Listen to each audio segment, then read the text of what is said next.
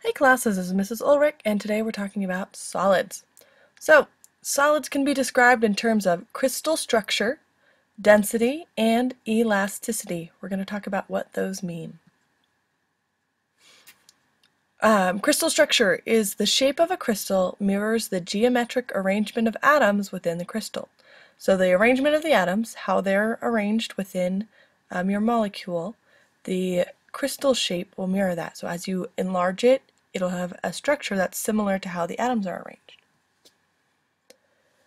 For example, quartz or mica, fool's gold, um, they have smooth flat surfaces at angles to one another. That's kind of what a crystal is. So the minerals are made of crystals. They have those regular geometric patterns and their components are arranged in an orderly repeating pattern. So that pattern repeats over and over and over again. So those are crystals. Um, the minerals themselves may not be perfectly structured, like you could take several crystal units and stick them together, um, but they will still have that crystal structure. Some minerals you can see with your eye, so you could look at, um, you know, the cut of some stone or something like that, and you kind of see the shape in the minerals. Some of them, though, you need an x-ray. So this is an x-ray of a salt molecule. Um, and so it can show you all the different uh, particles in there, and it's actually showing us the structure of the sodium and the chloride atoms within a salt um, crystal. So they uh, take an x-ray of this, and just like you take an x-ray of your bones, it shows you the pattern of those atoms. And all crystals of sodium chloride produce the same design. So it doesn't change no matter what it is because they have the same crystal structure. So here's the crystal structure, right? You have your sodium and your chlorine ions, um, and then you put them together and you get that X-ray pattern. So that's where that comes from. So those patterns made by X-rays um, show us that it's there's an orderly arrangement of those atoms, and every crystalline structure, every different kind of structure, has its own pattern. So the pattern is different with each, with each different kind of crystal. So what determines the shape of a crystal? The arrangement of the atoms in a crystal. All right, density. So the first one was crystal structure, and now we'll talk about density. I like to say density is the amount of stuff in a certain amount of space, right? So here's your book definition though. The density depends upon the masses of the individual atoms that make it up and the spacing between those atoms. So if you have really heavy atoms that are really close together, it's going to be a really dense material. But if you have really heavy atoms that are super far apart, it may not be quite as dense. So how tightly the material is packed together, right? You take something and you squish it, it now has a higher density. It's the amount of mass per volume. So it's the amount of stuff, mass, in a certain amount of space. We're not talking weight per volume because weight is a force. We're talking mass, which is in kilograms. For example, take a loaf of bread, some nice white Wonder Bread. You take that loaf of bread, it's super light and airy, right? It takes up a fair amount of space. Now you take that and you squish it down as small as you can make it. The squished bread has a higher density than the original loaf of bread. And the volume changes. Note, the mass does not change. I still have the same amount of bread. It is just more dense now. So, speaking of that, density is a property of the material. Doesn't matter how much you have. So, let's say we have an iron nail. It's got the same density as an iron pan. Even if the pan has 100 times as many atoms and 100 times as much mass, it'll take up 100 times as much space. So, 100 times my mass divided by 100 times my volume, the hundreds will cancel out and I'll have the same density. So the mass per unit volume is the same. Density does vary a little bit with temperature and pressure. So say you take something up to a really high altitude, it's going to have a slightly different density um, even though you haven't really changed the properties of it. And um, But generally speaking, we give densities at 0 degrees Celsius and atmospheric pressure, which later we'll talk about some things. It's like, oh, it's one atmosphere or different units. But just know that that's our baseline for densities. Water is um, special.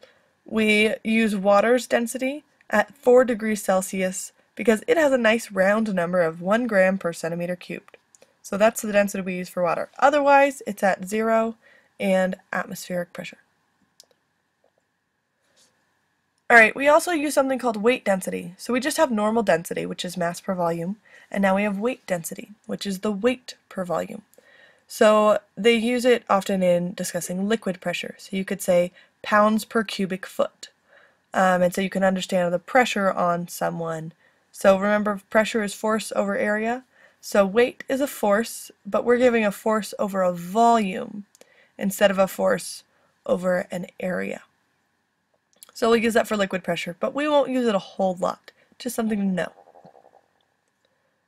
Alright, so here's your problem. Which has a greater density, 1 kilogram of water or 10 kilograms of water? How about 5 kilograms of lead or 10 kilograms of aluminum? Water is going to have the same density. Doesn't matter how much water you have, it'll have the same. So the 1 kilogram or 10 kilograms of water, same density. Whereas lead and aluminum, who cares that I have 5 kilograms of lead and 10 kilograms of aluminum? The density stays the same um, because of the property of lead and aluminum. And lead is more dense than aluminum.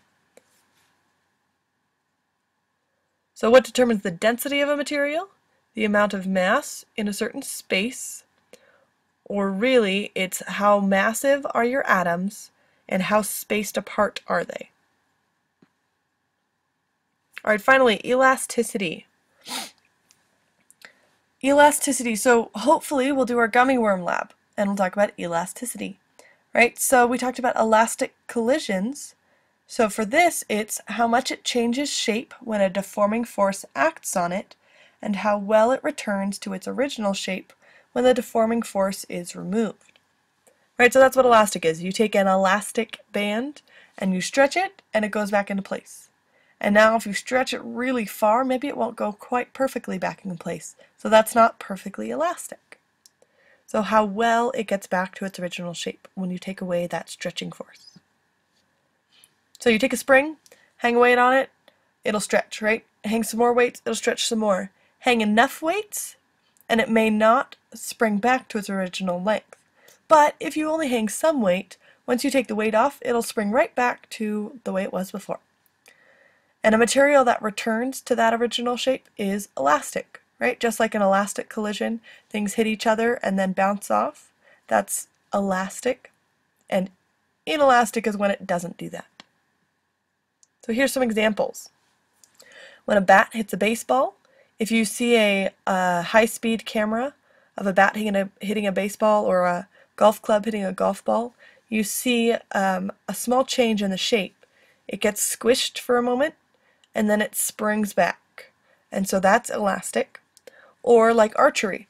An archer bends um, the bow, right? So you can see here um, the bow is bent and he's pulling on the string, so he's adding this force.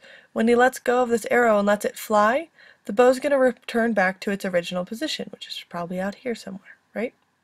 So it'll spring back to that. Those are elastic objects. Obviously, though, not everything is elastic. I, you know, you take your iPhone 6 and you bend it, it's not going to return to its original position. It would be inelastic. There's also things like clay, putty, or dough, right? You take some silly putty, bend it, it's not going to bounce back. You take some Play-Doh, bend it, it's not going to bounce back. Um, they don't assume they don't resume their original shape. Alright, so there's elastic and inelastic, and now there's something called Hooke's Law, which talks about the amount of stretch and the applied force and the relationship between those. So you hang a weight. Okay, we hang one one weight, we get maybe a tiny bit of stretch. Okay, we hang two weights. Okay, two weights, we get a little more stretch. Three weights, we get some more stretch. Four more, five more, right? So it increases directly, to directly proportional. Add more force, you get more distance of stretch, right? That's what delta x means. It's a change in the distance. So double the force, double the stretch. Um, triple the force, triple the stretch. so on and so forth. So triple this, this is three times this stretch. And this is four times this stretch. This picture is maybe not the best thing for it, but that's that is what it is. So it's a direct relationship between the amount of force and the amount of stretch. Double force, double stretch. Triple force, triple stretch. Quadruple force, quadruple stretch. Alright, if you stretch something and it won't return to its original state, that is where we call the elastic limit.